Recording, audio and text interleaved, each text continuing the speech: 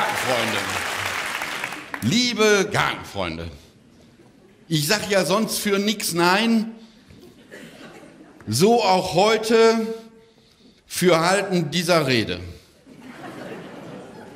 Nächstes Jahr müsste das dann mal wieder einen anderen, ich möchte sagen, berufeneren machen. Liebe Kleingärtner, innen. Liebe Kleingärtner, innen. Ihr wisst, dass ich kein großer Festredner bin, dennoch bin auch ich immer selbst überrascht, dass ich sehr zum Leidwesen von viele kein Freund von kurze Reden bin. Wenn Sie also einer von euch noch ein bisschen frisch machen möchte. Ein Gartenjahr hat sich wieder mal zur Neige. Äh, ja, geneigt. Dankeschön. Geneigt. Aber ein vorläufiges Ende war bereits in August absehbar. Zeit also für eine Inventurrede zu halten mit all seinen Höhen und auch Tiefen, was heute beiläufig von mich angesprochen wird und muss. 2007 war für uns alle besonders ein Frühjahr, wo die Tulpen Forsitien und auch die Hyazinthen sprossen und ein spätes Frühjahr mit den weitläufigen Ausschlagen von der Knöterichhecke bei die Viertels, die ja seine Hütte total mittlerweile übernommen hat, die deswegen auch mal wieder einen zackigen Schnitt gut täte. Das aber nur nebenbei an die private Adresse von den Heizvierteln, nur als Vorschlag, der das ja auch selbst weiß und auch zu schätzen weiß. Und besonders herausheben möchte ich die Parzelle von Liesel Kösters die ja auch den Sommerpreis von der gepflegtesten Parzelle errungen hatte, die ja leider momentan mit Bauchspeicheldrüse in der Knappschaft liegt. Zimmer 309 in der dritte Etage links und man jetzt nicht genau weiß, ob sie auch wieder mit Bauchspeicheldrüse herauskommt. Vielleicht auch bisschen mit ihrer Leber in Schuld wären das ihre Gallensteine gewesen, die nun von der Knappschaft entfernt worden wurden.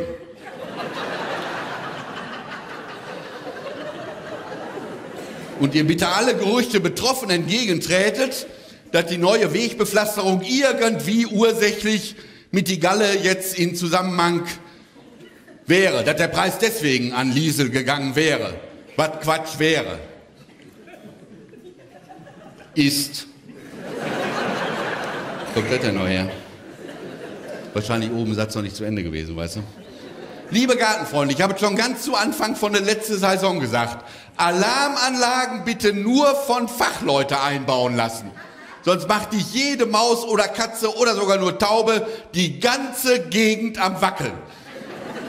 Gestern Nacht ist wieder mal die Feuerwehr mit zwei Züge und Notarztwagen bei Anton und Erika angerückt und fanden nur ein kopulierendes Eichhörnchenpaar vor. Gott sei Dank nicht Anton und Erika, die wir das auch nie mehr zugetraut hätten. Ja, und Leute, bitte guckt einmal auf die teuren Kugelakazien von der Enne. Die hat mit ihrer Rentennachzahlung, weiß Gott, ein Ensemble stationiert. Ja, sie hat. Wo kommt ihr jetzt noch her? Hör mal, Kollege, ich habe extra gesagt, wir fangen pünktlich an mit der Jahreshauptversammlung heute. Ich meine, du wärst letztes Jahr auch schon zu spät gekommen. Wegen dich muss ich jetzt nochmal wieder von vorne anfangen. Ich fange nochmal von vorne an. Nee, komm mal, Scheiß.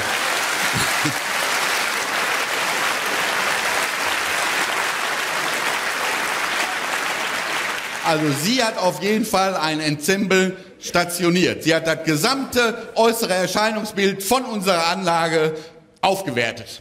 Wenn sie auch selten kommt, besonders im Herbst, wenn es um Blätterfegen geht. Ich danke aber auch herzlich die Frieses. Ja, liebe Ella, ich weiß im Moment nicht, wo sie sitzt, ich sehe hier so gut wie, ach da. Liebe Ella, ich sag das jetzt mal so, wo wir in eure Parzelle herrliche Sommerabende, ich möchte fast sagen Nächte verbracht haben mit die Tanzfläche zum Nachteil von eurer Rasenfläche angelegt und die Theke und den neuen Grill Nee, waren schöne Zeiten bei euch im Sommer. Liebe Ella. Und natürlich auch Kurt. Den sich ja leider jetzt mit einer neue andere Dame neu orientiert hat. Ganz wertfrei unsererseits festgestellt. Und somit auch die Kleingartenanlage nach Gladbeck äh, gewechselt hat. Wir aber werden dich, liebe Ella, jetzt wo Kurt nicht mehr da ist, hier mit Sicherheit in Zukunft nicht nur an der Hand packen.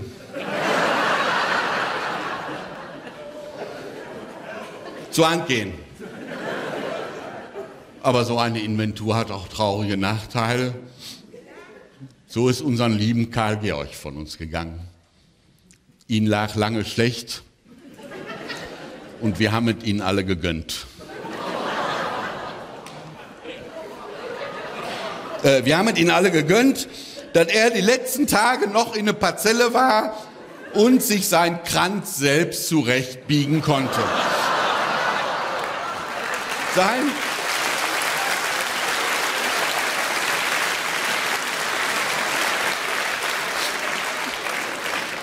Sein Herz hat bis zur letzten Minute für uns Gartenfreunde, ja, für unsere gemeinsame grüne Sache geschlagen. Und es würde heute noch am Schlagen sein, wenn seine Prostata mitgeschlagen hätte. Schon vor Jahren, heute kann ich es euch ja sagen hat er mich schon in Geheimen gesagt.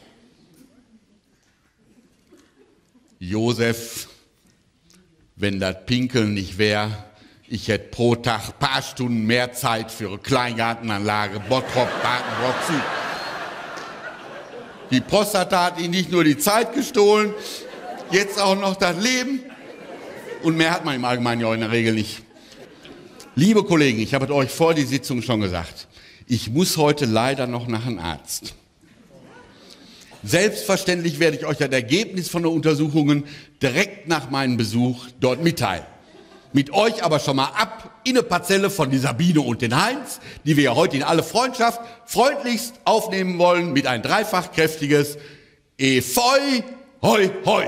Efeu, Efeu. Bis gleich dann, Kollegen. Macht euch erstmal einen. Ne?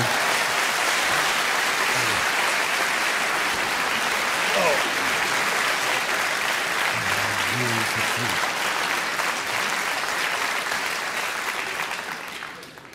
ist das voll hier, Scheiße. Wen war der Letzte, bitte? Wen war der Letzte, bitte? Ach, die Knalltüte wieder. Er denkt, oh, einmal 10 Euro abgedrückt, kannst du ganze Quartal ein Fahrgestell hier im Wartezimmer parken.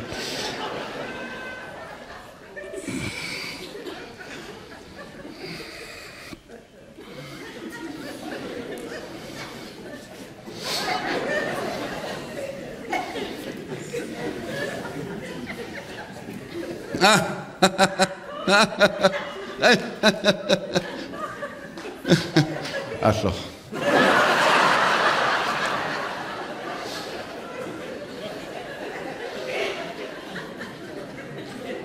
Man geht hier gar nicht weiter. Ist hier Pause oder was?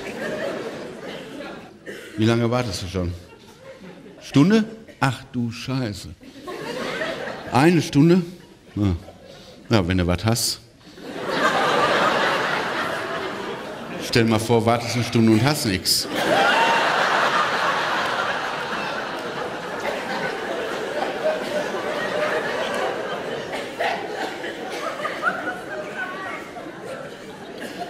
Werner, ich guck schon die ganze Zeit. Bist du's?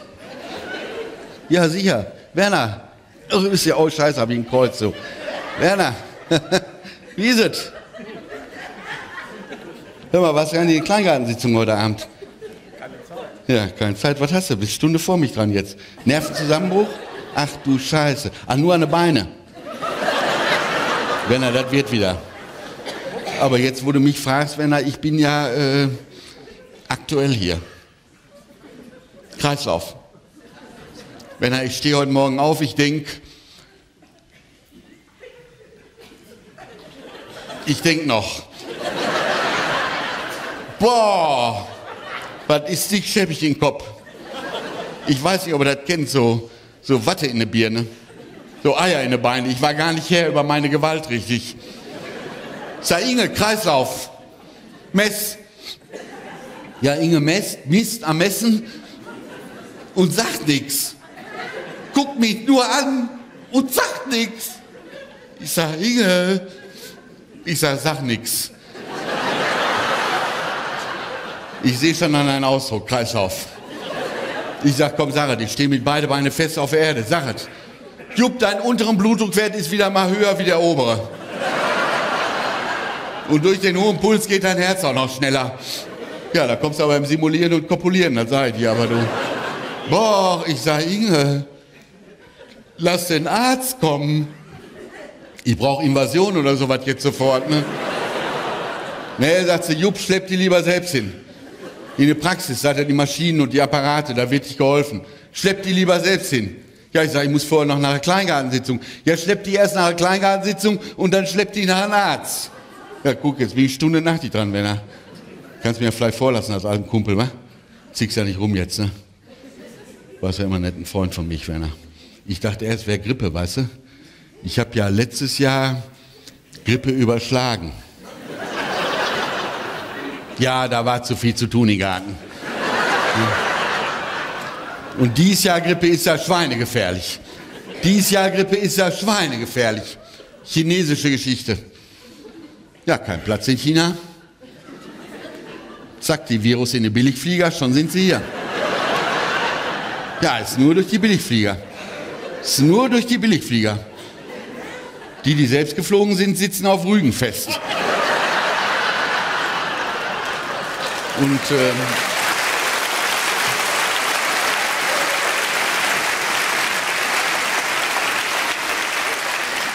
und der Ministerpräsident Rüttgers, der soll ja extra paar hundert Ampullen für Impfung für Leistungsträger unserer Gesellschaft, also prominente Multiplikatoren und Kommunikanten, also Kleingartenpräsidenten, Bürgermeister, Professoren an eine Seite gelegt haben.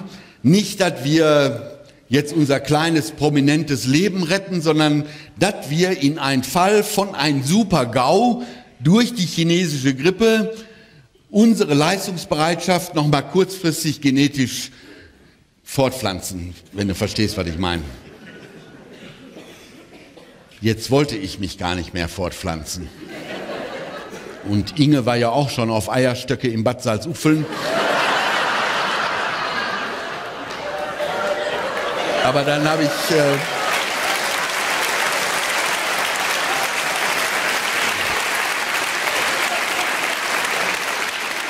dann habe ich heute Morgen doch nach reiflicher Überlegung gesagt, also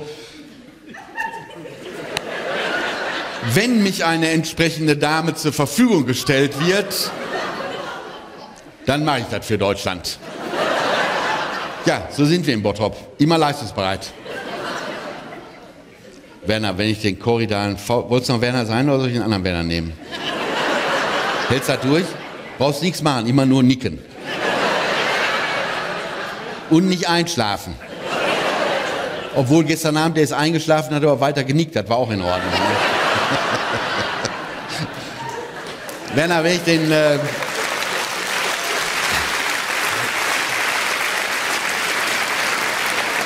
Wenn ich den korridalen V-Schlag nicht gemacht hätte, wäre ich gar nicht, kennst du gar nicht korridalen oder guckst immer so? Ich kann dir erklären, korridalen V-Schlag ist ja, na, ich weiß nicht, ob du dich erinnerst, vor vier Jahren, lass es fünf gewesen sein, war ich ja beim Malteser im Erste-Hilfe-Kurs, also als Fortgeschrittener jetzt, also Zweite-Hilfe-Kurs kannst du sagen.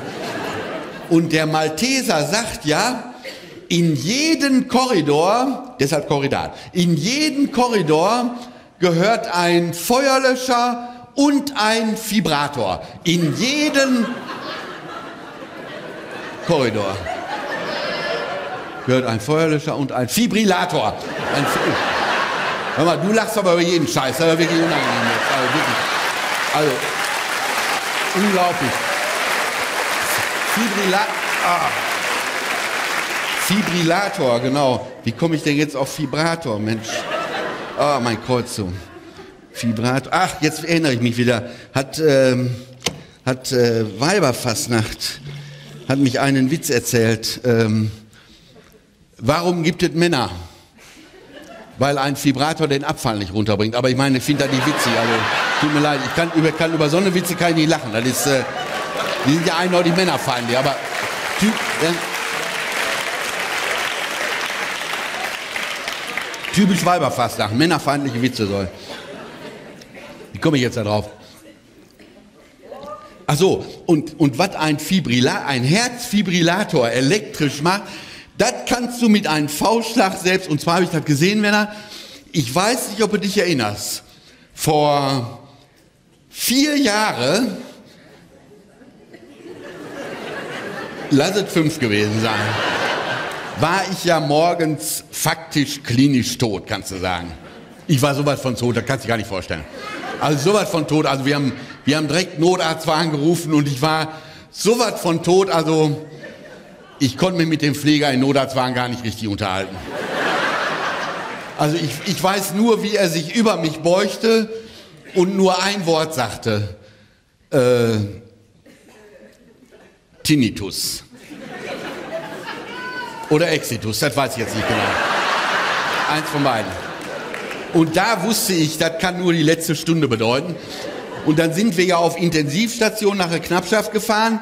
Werner, und auf Intensivstation von der Knappschaft, die haben ja keine geschlechtliche Unterscheidung. Nein, die haben keine, ich meine, da hast du auch andere Sorgen, wenn du da einmal gelandet bist. Ne? Und wann hast du mal das Glück, dass da kam Nebel oder Maria Helwig neben dich liegt? Das Glück hast du auch nicht nehmen. Ja. Und neben mich lag ja die Oma Schwalzig. Die Mutter von Heini Schwalzig, kennst du noch, ne? Werner, und die hatte so eine besondere Atemtechnik, die hat immer sehr lange und sehr laut eingeatmet, dann aber nicht wieder ausgeatmet. Aber nach drei Minuten hat sie wieder sehr lange und sehr laut eingeatmet. Muss sie in der Zwischenzeit heimlich abgeatmet haben. über die Niere oder über die Schleimhäute. So wie du jetzt sagst, weiß ich schon, an was du denkst. Du bist ein Ferkel, das sage ich dir ganz offen. Ne? Und die erste Nacht hatte ja den Krankenpflegerschüler Carsten Nachtdienst. Den kenne ich noch von früher von der Straße. Der sagt Onkel Jupp für mich. Und der sagte direkt, Onkel Jupp, so eine Atemtechnik wie die von Oma Schwalzig haben wir in der Schule noch gar nicht gelernt. Ich bleib die ganze Nacht am Bett, da ziehe ich mich rein. Ja, ich hatte morgen selbst beherrscht. Ich sag, Carsten, mach kein Quatsch, das Leben ist kurz. Ich sag, geh im Schwesternzimmer, Rudi bisschen aus, gucken bisschen Fernsehen. Ich bin da so und so die ganze Nacht hier. Nee, sagt der Onkel Jupp, ich bleib die Nacht. Und der ist die ganze Nacht, ist der am Bett. Und die Nacht drauf hatte ja den Ralf Wiczorek Nachtdienst. Da ist er ganz alten, erfahrenen Intensivpfleger. Äh, einen ganz alten, erfahrenen der ist schon auf intensiv geboren. Einen ganz alten. Den hörst du abends und dann seinen alten, erfahrenen Gang über den Flur und dann steht er so in der Tür von der Intensivstation, lässt seinen alten, erfahrenen Blick kurz sondieren, sagt, na, Jungs, dreht sich um, geht ins Schwesternzimmer, sie ist die ganze Nacht nicht mehr. Weißt du, so einen alten, erfahrenen. Und jetzt hatte der ja bei seinem sondierenden Blick die besondere Atemtechnik von Oma Schwalzig gar nicht mitgekriegt. Die hatte zudem, der hatte zudem ja nicht mitgekriegt, dass die Oma Schwalzig ja schwer unter Nestelsucht gelitten hat. Nestel, nicht Nessel. Nestel, bitte? Nestelsucht. Die hat immer an sich genestelt. Also nicht an sich jetzt an der Bettdecke oder am Schlafanzug oder was sie gerade ins Bett geworfen, das alte Socken, Handtücher oder sowas. Verstehst du? Hat die immer dran genestelt. Und wie der Teufel es will, just in die Nacht kommt die mit dem Finger an der Ableitung von elektrischem Herzkranzgefäßgerät, Alarm.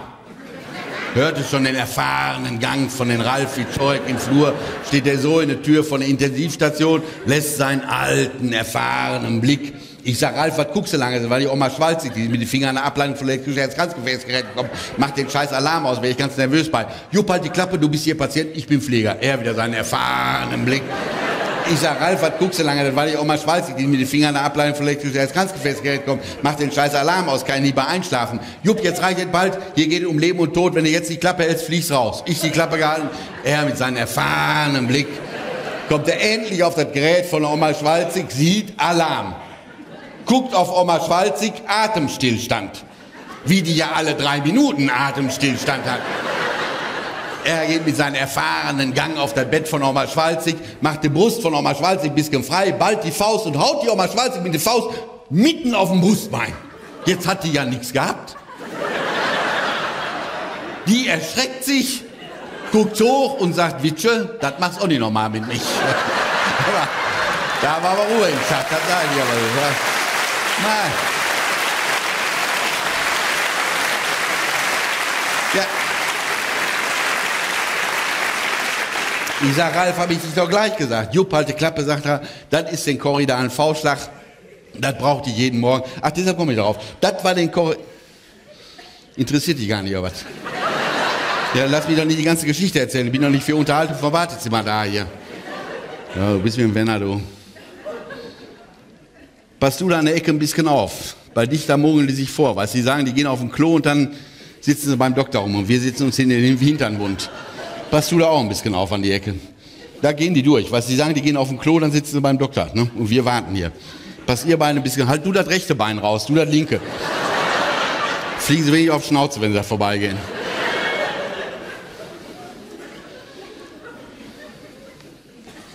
Oh, nur Käseblätter hat er hier.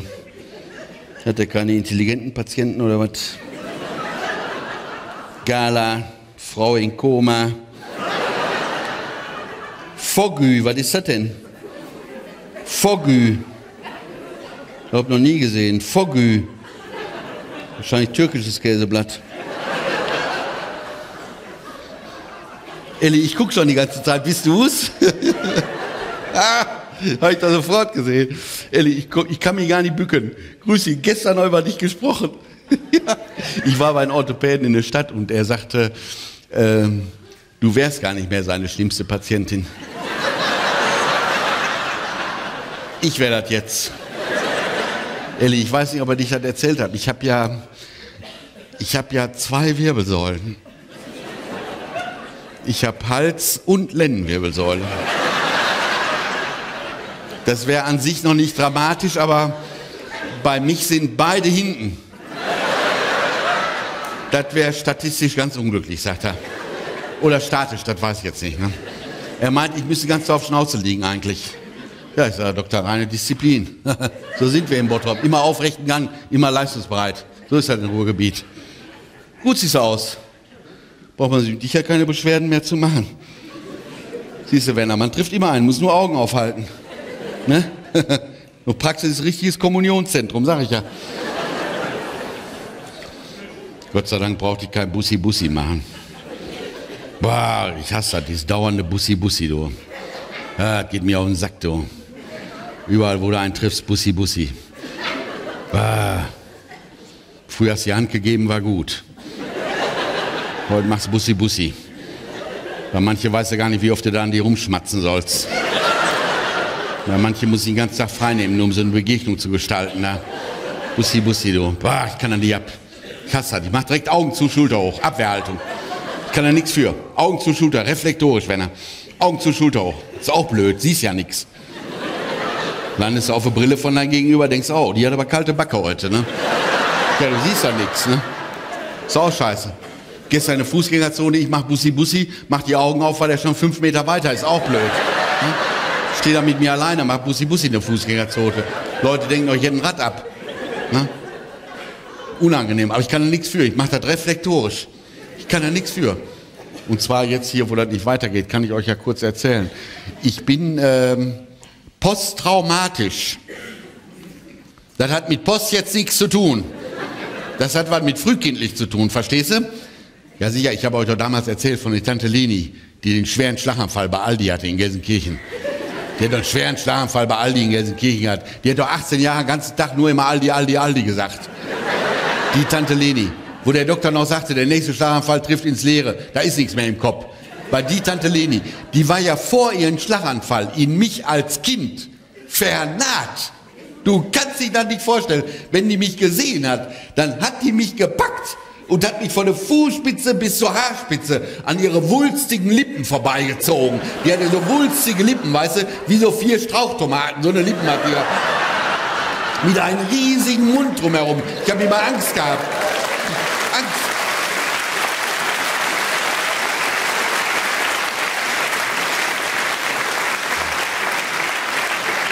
Ich dachte immer, hoffentlich macht ihr den Mund jetzt nicht auf und atmet ein, dann bist du weg.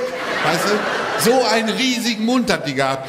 Ich krieg heute noch Asthma, wenn ich vier Strauchtomaten sehe. Ich krieg direkt Asthma. Ich muss, wenn ich vier Strauchtomaten kaufe, viermal im Laden, kann die nur einzeln kaufen. Und wenn ich sie dann im Kofferraum aus Versehen wieder zusammenlege, kriege ich Asthma. Das ist nur durch den frühkindlichen sexuellen Missbrauch durch Tante Leni. Ich bin auch nie ein großen Küsser gewesen. Inge sagt auch, Jupp, du bist nie ein großen Küsser gewesen. Aber sonst ging es ja. So, was meinst du denn damit? Ja, ich konnte nie lange küssen, verstehst du? Ich konnte nie lange küssen. Als junger Mensch küsse ich ja schon mal gerne lange. Ja, aber ich konnte nie lange küssen, weil zum Schluss musste ich immer an Tante Leni denken. Und dann habe ich Asthma gekriegt. Und da ist scheiße, wenn du lange küsst, hast du uns so schon schlecht Luft, wenn du dann zum Schluss noch Asthma. Boah. Ah.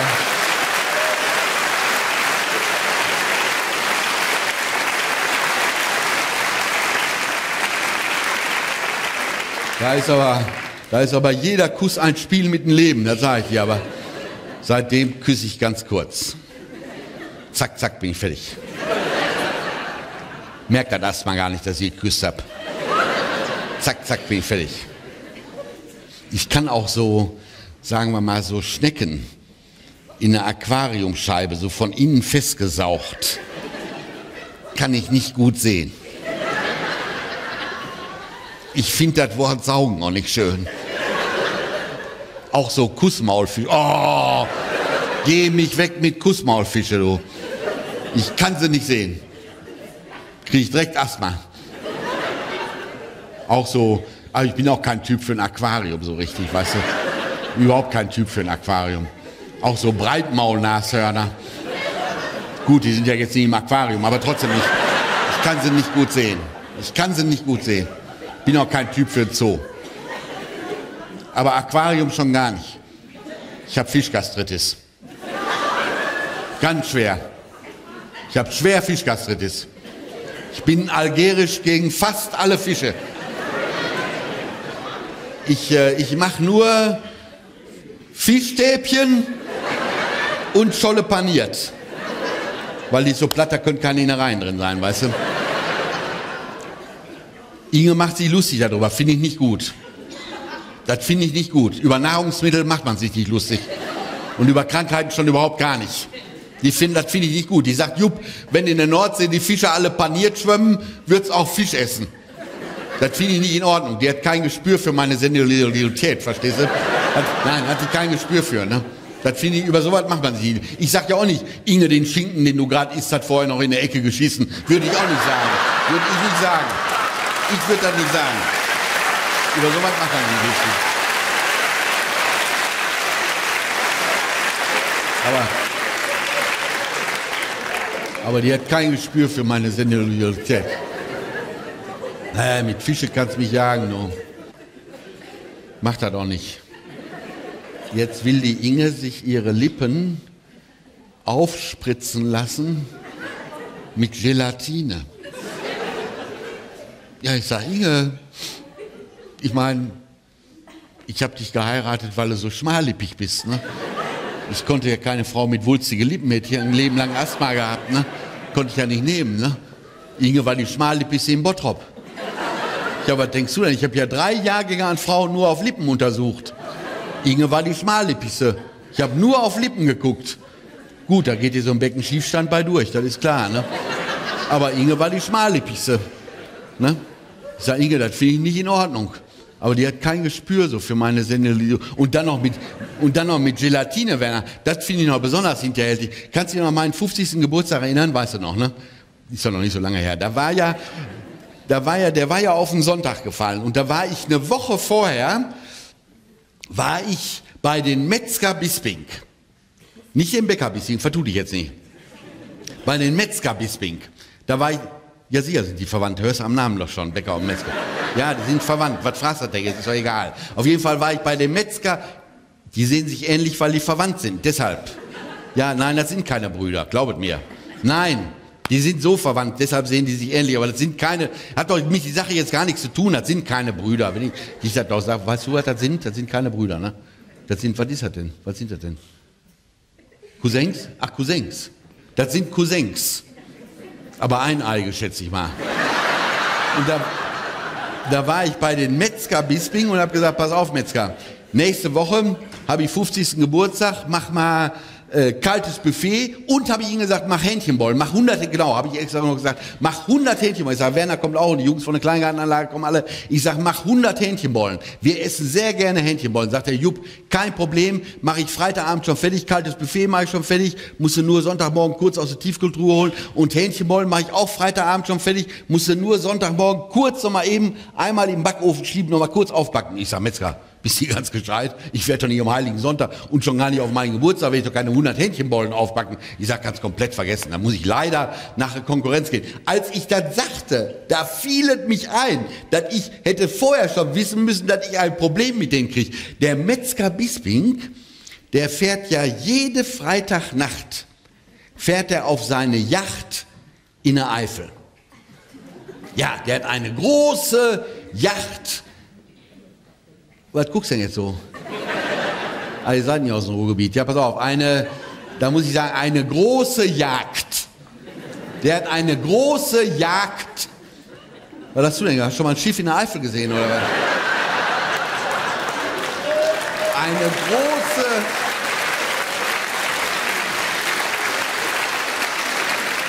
eine große Jagd in der Eifel. Der schießt das ganze Fleisch, was er verkauft, schießt er alles selbst.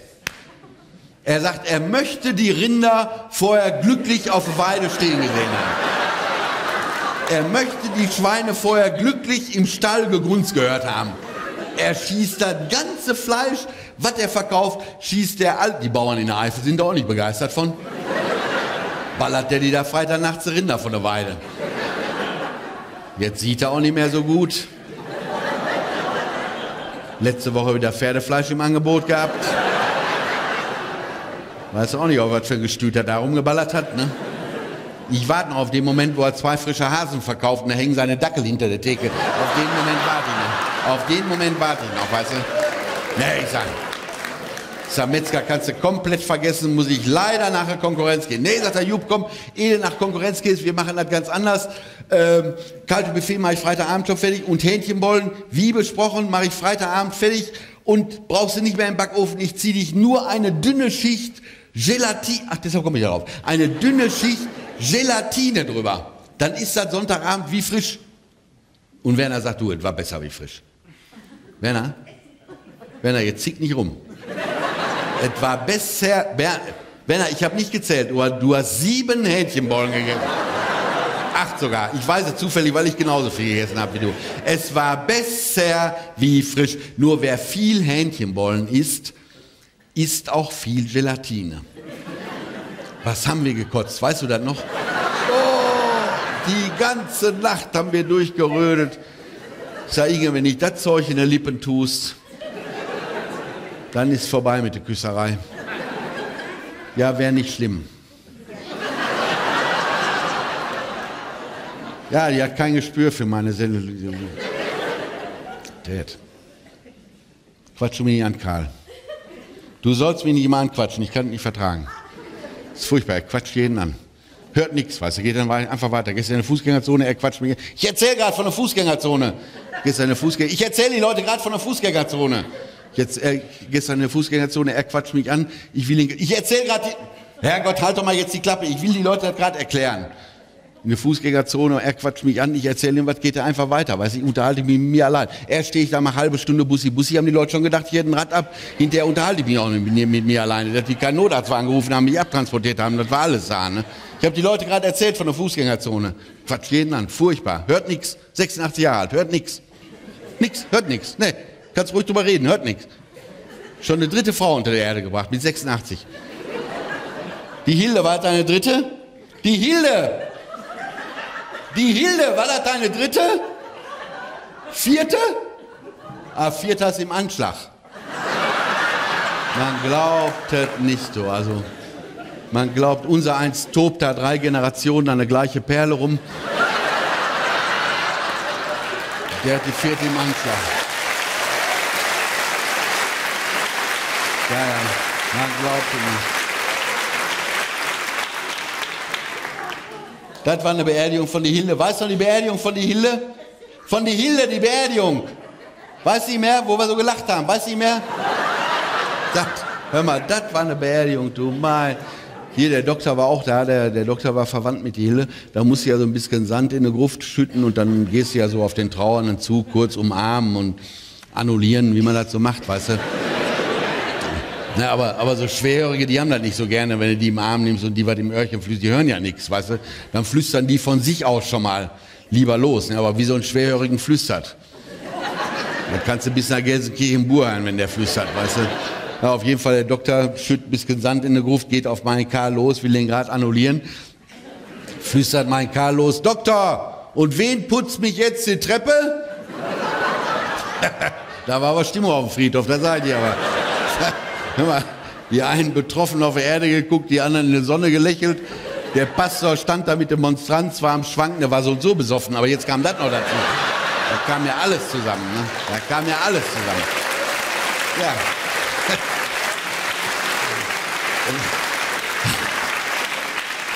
Und wen putzt mich jetzt die Treppe durch? Ja, pragmatisch, praktisch gut. So war das immer in Ruhrgebiet. Pragma das war ja genau das gleiche mit der Onkelehen. Kennst du noch Onkelehen? Du gar nicht, ne?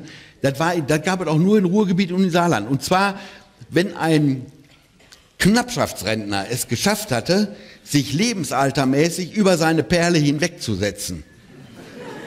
Als Witwer sozusagen. Dann sprach sich darum im Ruhrgebiet, innerhalb von drei Tagen. Von Schwerte bis nach Kamp-Lindfort, von Waltrop bis nach Rheinhausen, an den Sonntag drauf. Dann wurden die lustigen Weiber aus Wanne-Eickel, die wurden aber busseweise, wurden in der Bottrop gekarrt, um sich so einen Sonntagsbraten zu schießen. Ja, da wurden selbst die 18-jährigen Nichten aus dem Hochsauerlandkreis, die wurden angekarrt und mussten ihre 86-jährigen Onkels heiraten, weil, wenn die dann für ein sozialverträgliches Frühableben sorgten, und das war ja nicht schwer, brauchst du bloß morgens an der Kellertreppe mal Beinchen zu stellen oder abends in eine, in eine Badewanne erschrecken, dann kriegten die die Witwenrente. Bis zum Lebensende. Bis die Knappschaft plötzlich merkte, ach du Scheiße, wir haben ja 300 junge Frauen, die alle unter 30 sind, die haben 50 Jahre Anspruch auf Witwenrente. Da wären die bald, bald pleite dran gegangen. Da haben die gesagt, um Gottes Willen, das darf doch nicht sein. Und dann haben die ein Gesetz erfunden, du musst dann mindestens fünf Jahre mit den alten Herren verheiratet sein, ehe du die Witwenrente kriegst. Da hättest du mal sehen sollen, von, von wegen sozialverträgliches Frühableben, weil die die morgen schon in Wattebäuschen eingewickelt haben, dass da um Gottes Willen erste fünf Jahre nichts dran kam. Ne? Ja, stell dir mal vor, du, der nippelt dich nach viereinhalb Jahren ab. Ja, hast du umsonst gepflegt. Ne? ja, und da, ne? ja, war Schluss. Wie komme ich, wie komme ich da jetzt? Ach, durch das Bussi Bussi, deshalb komme ich da. Hör mal, das schönste Bussi Bussi, was ich je gesehen habe, das war das von dem Brezhnev gegen den Honecker. Kannst du dich da noch dran erinnern? Wo dem Brezhnev aus seiner Iljuschine aussteigt, läuft die Treppe runter, unten steht mein Honey und die beiden, und du denkst, die machen jetzt sozialistischen Brüderkuss, von wegen. Die fangen sich in der Mitte auf und machen Zungenkuss und hören gar nicht mehr auf. Hör mal, ich sitze da vor dem Fernseher, ich denke, was ist das denn? Das sieht mich ja ganz nach Gleichgeschlechtlichkeit aus. Ja, gab es doch früher noch gar nicht Gleichgeschlechtlichkeit. Da, waren, da gab es doch noch, war doch noch verboten, einmal, gab es doch noch gar nicht. Bürgermeister und Modefritz, die waren alle noch streng auf Kurs, da gab es doch noch keine Gleichgeschlechtlichkeit. Ne? Ich gucke vor in den Fernseher, ich denke, um Gottes Willen, ich blieb mal mein Herz stehen. Ich sage, Inge, komm gucken im Fernsehen, Gleichgeschlechtlichkeit, den Brezhnev gegen den Honecker. Kommt die Inge direkt aus der Küche gerast, guckt in den Fernseher und sagt, nee, Jupp, das hat mit Gleichgeschlechtlichkeit nichts zu tun. Das ist von den Honecker, ist das Hunger. Ja, die hatte ein Biologiebuch gelesen und zwar, wenn Störche lange ihre Schnäbel so aneinander reiben, dann gibt irgendwann der, der was im Magen hat, den anderen reflektorisch ab.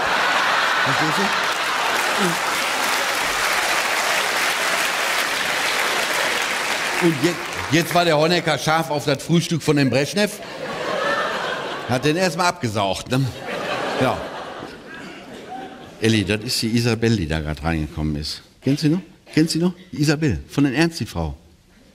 Ja, die ich, ich guck die nicht an, die quatscht einen tot im Wartezimmer. Ich möchte, mit, mit die möchte ich nicht im Wartezimmer sitzen alleine. Ich grüße die, ich grüße die. Ach, Isabel, grüß dich. Schönen Gruß auch an den Ernst. Der ist so abgehauen letzte Woche. Ja, sicher, ja, sicher, der ist in Kutiat Hotel, der ist abgehauen. Ich war doch da, steht an der Bar, völlig fertig. Und sie ist sauer. Nicht, weil er abgehauen ist, weil er gar keine neue Perle hat. Ja, so sind Frauen. Die sagt, ich war 20 Jahre mit einem Mann zusammen, den gar keine andere will. Umsonst drauf aufgepasst. Ja, so seid ihr Frauen. Wir Männer gehen mit unserer Emotionen in so eine Beziehung. Frauen sagen, Mama, ich nehme dich deinen Alten weg, dann bin ich für ein Jahr die Böse, du kannst sechs Wochen eine Tränen in die Kissen drücken und danach kannst du mal wieder auf Pirsch gehen und gucken, was die anderen Damen alles noch so eine Käfighaltung vorrätig haben. So seid ihr Frauen. Und der Ernst ist völlig fertig, steht an der Bar, säuft sich ein. Ich sag, komm Ernst, Kopf hoch, kannst dich jetzt an eine knackige Blondine wieder umgucken. Hoch, Jupp! Wir gehören nicht im Beuteschema für knackige Blondinen. Wir müssen mit einem Restkriterium zufrieden sein. Ich sage, was meinst du denn damit? Ja, Hauptsache kein Mann. Ja, der ist fertig mit den Nerven, der hat gar kein Selbstbewusstsein mehr. Der hat auch seinen Marktwert in der Ehe nicht gehalten. Du musst in der Ehe deinen Marktwert halten. Guck, noch lächelt sie, aber frag, frag mal den Moment, wo du pflegebedürftig bist. Dann ist vorbei mit der Lächelei. Viele Frauen werden sogar grob für einen. Ich sage dir. Habe ich in der Zeitung gelesen. Werden grob für einen. Viele Frauen werden grob. Man muss einen hohen Markt, ich habe einen hohen Marktwert. Ich habe eine Freundin. Osnabrück, ich kenne die gar nicht, weißt du? Über Internet. Ich habe Foto von Nachbarsjungen hingeschickt. Sie denkt, ich wäre Medizinstudent im dritten Semester. Werner, wir schreiben uns Mails. So eine Wörter gab es früher noch gar nicht. Abends vorm Fernseher, unterm linken Knie, schreibe ich SMS nach Osnabrück. Und je heimlicher ich das mache, umso besser sieht die Inge das. Aber sie kann nichts sagen, weil ich es ja heimlich mache. Aber ich merke, wie mein Marktwert steigt. Auch wenn wir in eine Stadt gehen, einkaufen. Ich gucke andere Frauen nach. Nicht brutal, primitiv, nix. Stickum. Durch den Mundwinkel quasi. Und ich merke, wie in Inge ihr Kopf am Arbeiten ist. Ho, den Jupp! Da scheint noch so ein bisschen Restglut zu sein. Ja, du lachst. Alte Kippe kann auch Waldbrand machen. Das sage ich aber.